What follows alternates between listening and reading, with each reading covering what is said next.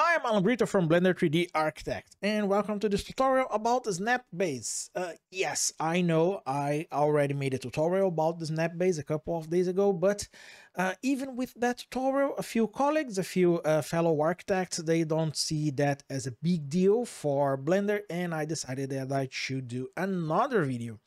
And this time I will be making a small experiment comparing Blender with AutoCAD yeah, I know they are different softwares, but uh, with the snap base, you can do some things that were uh, almost not impossible, but really hard to do in Blender before Blender 4.0.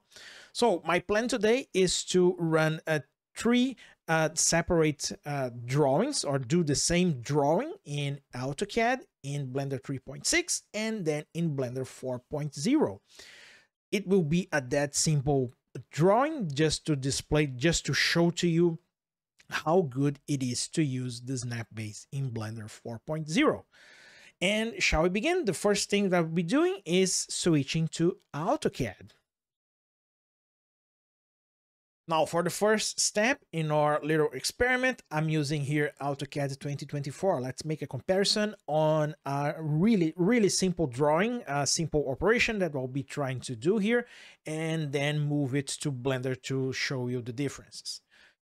Now I can use just two rectangles, three rectangles to be more precise,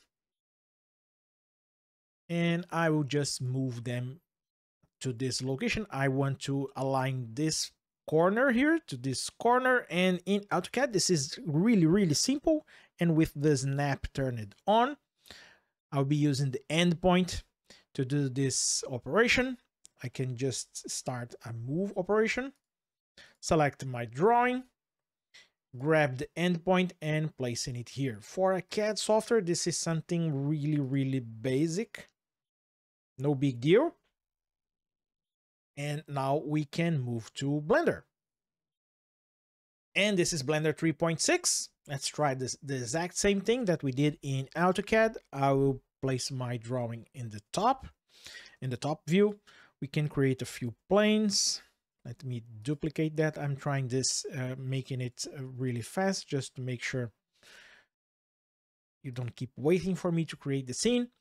And I'll be enabling my snap vertex. Let's try the same thing. I want to align this corner here to this location. So press the G key and I want to try to grab that point. Yeah, it doesn't go. No matter what you do, you can't grab that location. Let's try with the other plane. Yeah, no luck. Let's try with a different mouse position. Nope no matter what I do. I know it's kind of irritating. Uh, this, uh, of course, uh, let me be clear. There are other ways to do that. You can use the 3D cursor. You can move your origin point, but it will involve, uh, it will make use of lots of uh, key presses and hotkeys and snap. Let, let's move to Blender 4.0 just to make sure you understand how easy it will be to do this kind of operation with the snap base. And here I have Blender 4.0. Let's erase everything, do the exact same thing from the other scene. You can create a plane. Let's duplicate it two times. And we'll be enabling the vertex. And now if I select my object, press the G key, now we have the snap base. If you press the B key, you can select your point here and move it there. Look how easy it is to do that with Blender 4.0. Let's do that again. Select the object, press the B key. Oh, sorry, the G key and then the B key.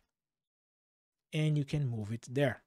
Look, just like AutoCAD. I know it's uh, it's just one way to do this.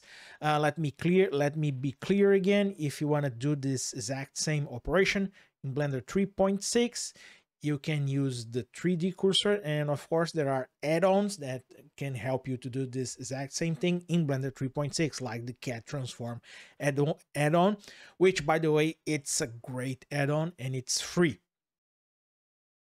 And that's it. I hope you liked the video. It's just a simple, really, really simple example, but I think it made crystal clear now for anyone in doubt how important it is to use the snap base in Blender 4.0.